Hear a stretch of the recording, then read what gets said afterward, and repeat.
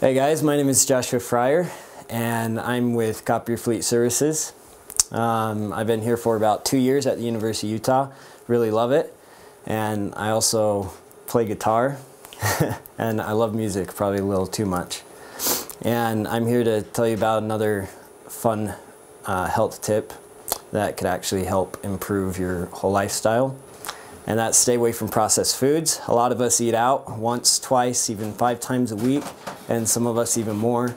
And if we could just stay away from fatty foods, uh, simple carbs, and, and just try and buy uh, whole food and try and get food um, uh, from the grocery stores and, and home cooked whole foods, and that will help improve our lifestyle.